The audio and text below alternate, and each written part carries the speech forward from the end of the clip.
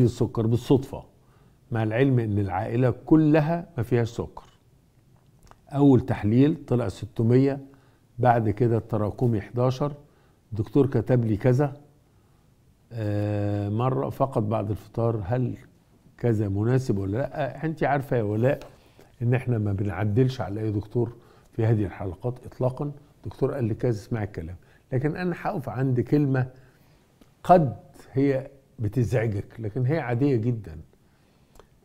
كم عيان سكر عنده أعراض؟ والأعراض ثلاثة أنت حافظاهم أكتر مني. بيقوم بالليل يتبول كتير بيعطش جدا جدا وبياكل كتير قوي رغم إنه بيخس. دول التع- ثلاث أعراض الكلاسيكية للسكر. أكل كتير شهية مفتوحة وبخس بول كتير بالليل أكتر من المعتاد وعطش طول النهار شرب مية. كام واحد يا ولاء من اللي عندهم سكر بيشتكوا الشكوى دي؟ مش هتصدقي التلت. التلت. يعني كل 100 واحد سكر 30 بس اللي بيشتكوا. والسبعين زي حالاتك كده اكتشاف صدفة. اكتشاف صدفة.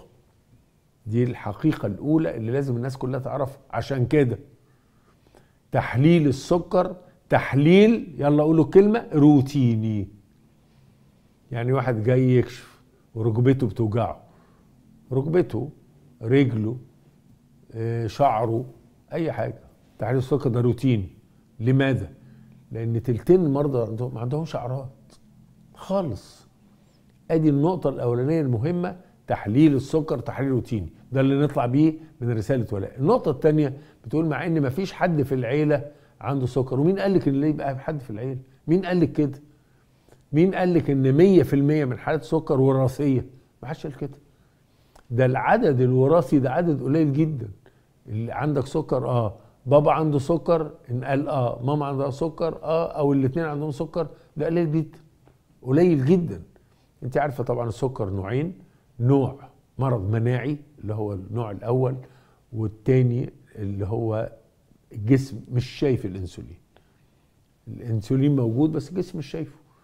فأنت هنستفيد من رسالتك نقطتين.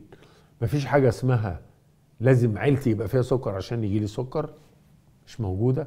نمرة اتنين إن إحنا معظم مرضى السكر بلا أعراض. خالص. واكتشاف السكر قد يكون اكتشاف صدفة. واحد بيتعين. يلا نعمله التحاليل بقى. يطلع عنده سكر. واحد داخل كلية عسكرية. نعمل تحاليل يطلع عنده سكر. ومش شرط اطلاقا إن اللي الأرقام اللي أنت قلتيها أرقام يعني عالية. السكر يطلع 600 عالي. آه، ويطلع إن ال- التراكمي 11 عالي جدا جدا لازم تاخدي العلاج بسرعة. أنا ما أعرفش أنا ما شفتكيش. أنت 32 سنة. هل أنت نوع أول ولا نوع تاني؟ نوع أول ما ينفعش فيه الإقراص. نوع أول ما ينفعش فيه الإقراص. لازم إنسولين. أنت نوع تاني قد تنجح فيه الإقراص. عشان كده روحي لحد أخصائي سكر يقول لك انت نوع أول ولا تاني؟